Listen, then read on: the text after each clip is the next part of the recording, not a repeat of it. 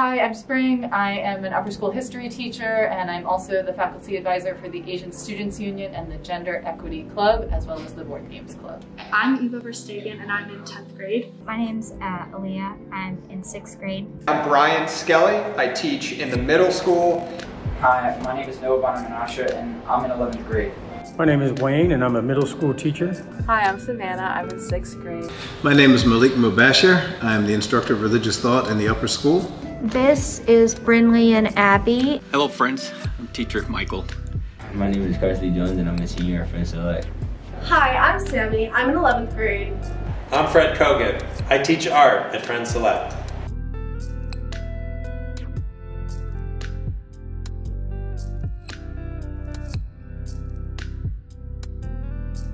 So I think here at Friends Select, we're living his legacy by having conversations like this. We're really making a point of, of having professional development days and speaking with kids. We're having an MLK workshop and Social Justice Week, which explores worldwide issues and how those issues affect our city. We're all aware of, you know, what's going on in the world and how we should be treating others others that are different from us. I would say you did a good job of educating our um, non-black peers by doing different presentations and teaching them about different aspects of black history. We embrace and encourage our students' individuality, which I think is very special. Martin Luther King also definitely believed in unifying people to reach a common goal, and I think that's something we definitely do here. I think as a school, we have committed ourselves to examine how we are perpetuating systemic racism.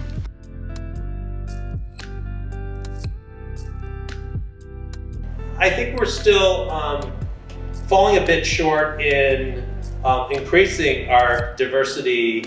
How we're falling short is by leaving Dr. King in 1963, I Have a Dream. Last year and the whole uh, Black Lives Matter uh, thing about how police are have been accusing people of color uh, for things that they haven't done. We just need to do more.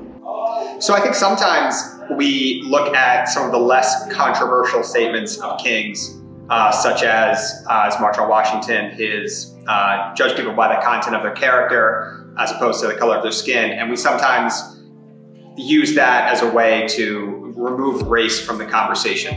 The most important part for me and maybe for everyone is to treat people equally no matter what or what happened. We are falling short by still like having problems getting to the point that that we should already be at. Uh, we're still fighting for um, equal pay, regardless of gender and race. We're still seeing horrid um, acts of police brutality. Especially in a time of pandemic, our lives and our ability to teach and learn is based on having workers who come in every evening to keep our spaces clean and sanitary. And so I think including those workers in our community more fully would better honor Dr. King's legacy.